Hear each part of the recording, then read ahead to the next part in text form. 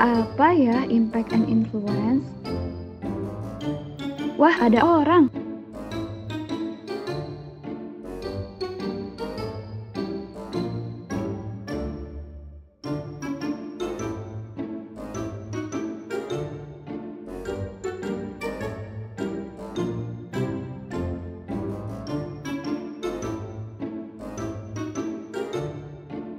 Aku mau nanya dong. Sebagai seorang muslim, kita kan harus jadi influencer ya atau jadi panutan buat orang-orang di sekitar kita. Nah, sebenarnya eh, tadi aku baca nih cita kita ada impact and influence. Apa sih artinya impact and influence di dalam cita kita itu? Nah, betul. Kita harus bisa jadi influencer yang bisa banyak menyebarkan kebaikan kepada orang di sekitar kita. Jadi kalau ngomongin impact and influence, jadi kayak gini nih.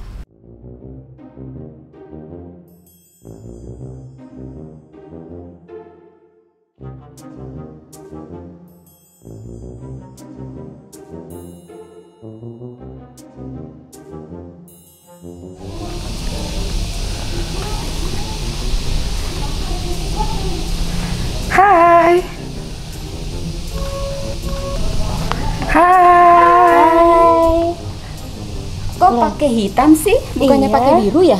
Roknya juga Roknya hitam. juga hitam. Udah pede lagi jalannya. Iya. Jangan ditiru. Oh, jangan ditiru. Astagfirullahaladzim.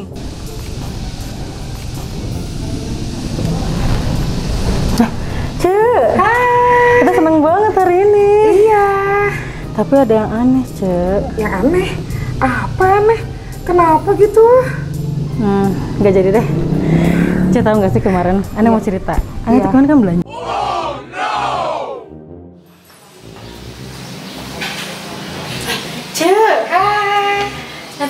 Banget hari ini. Iya dong. Tapi ada yang aneh sama ente, Cek. Apa yang aneh?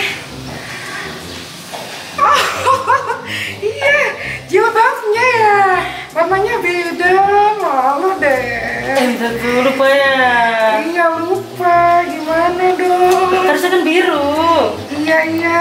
Karena lagi beta tidak tidak sombong, aneh bawain sesuatu buat ente. Tunggu di sini ya. Boleh.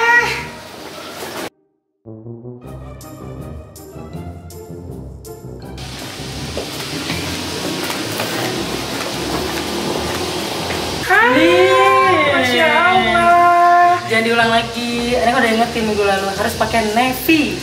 Iya iya, makasih banyak ya Besti. Sama-sama.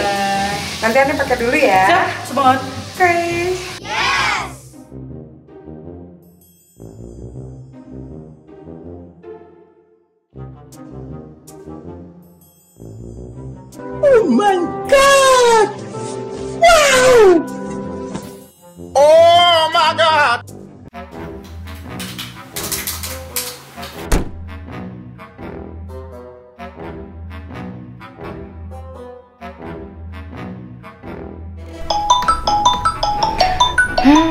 Aduh, ada masalah apa lagi ini? Assalamualaikum. Waalaikumsalam, Ustazah Hapunten. Ini kan saya mengajukan izin atas nama Jamil. Tapi kok belum dapat approve ya Ustazah? Kalau boleh tahu kenapa?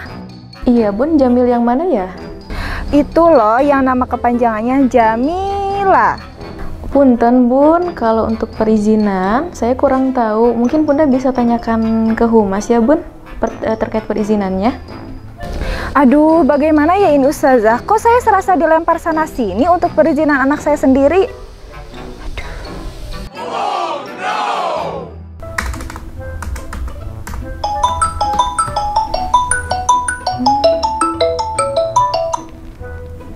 Assalamualaikum. Iya, Bun, bagaimana? Ada yang bisa dibantu? Waalaikumsalam Ustazah. Hapunten Ustazah, saya ini kan mengajukan izin atas nama Jamil. Tapi kok belum dapat approve ya Ustazah? Kalau boleh tahu kenapa? Oh, sebentar, Bun. Jamil yang mana ya? Itu loh yang nama kepanjangannya Jamila. Oh, mohon tunggu sebentar ya Bun. Terkait perizinannya, saya tanyakan dulu ke Humas. Nanti kalau sudah ada kejelasan dari Humas, kami informasikan lagi ke Bunda. Ya, mohon ditunggu ya Bun. Sekarang saya mau hubungin dulu Humasnya.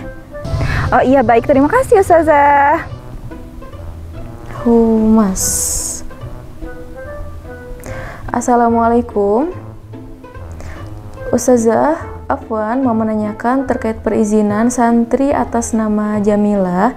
Barusan orang tuanya menghubungi menanyakan terkait perizinannya belum dapat ini konfirmasi. Gimana ya Ustazah itu?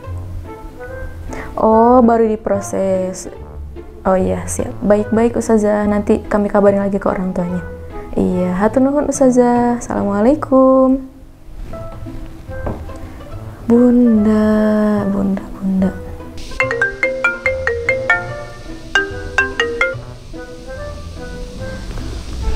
Assalamualaikum. Waalaikumsalam warahmatullah. Bunda melanjutkan percakapan yang tadi.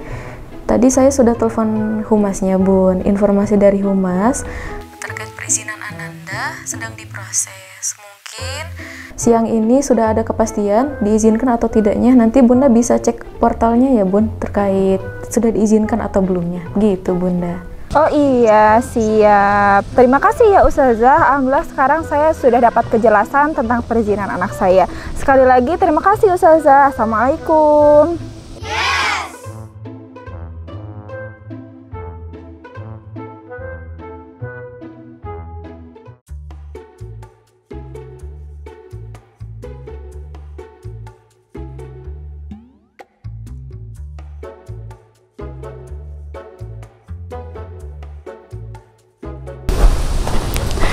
Assalamualaikum Bunda. Waalaikumsalam Bun. Begini Zah, saya dapat kabar kawan Nadia sudah tiga hari nggak makan. Saya khawatir anak saya kenapa-napa. Jadi Nadia mau saya bawa pulang dulu. Oh iya Bun, saya nggak tahu kalau Nadia tiga hari sudah tidak makan. Lah, kok bisa Ustazah tidak tahu kalau anak saya tiga hari nggak makan? Assalamualaikum Bunda.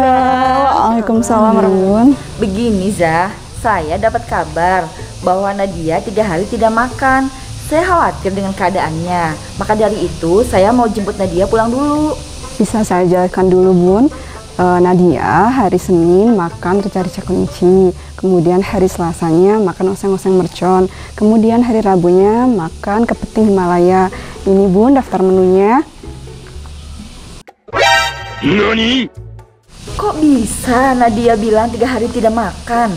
Mungkin maksud Nadia tidak makan di resto ya bun ya, tapi Nadia makan di kantin. Oh iya, kebetulan tiga hari ini temen Nadia ada yang milad bun atau ulang tahun, jadi orang tua mengirim makanan ke sini. Begitu bun, jadi Nadia nggak makan di resto, tapi makan dari ulang tahun temannya, begitu. Oh.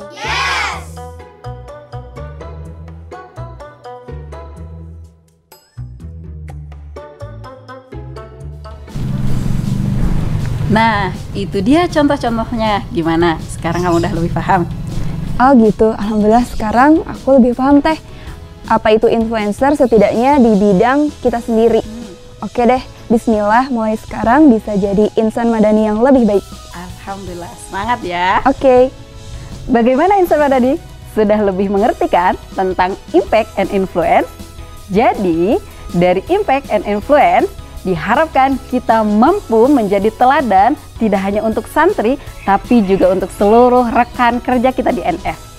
Nah, tidak hanya itu juga, kita perlu untuk bijak dalam berkomunikasi dan mengolah informasi agar tepat sesuai dengan data dan faktanya. Terus, kita harus lanjutkan menjadi influencer terbaik untuk semua orang. Salam Impact and Influence.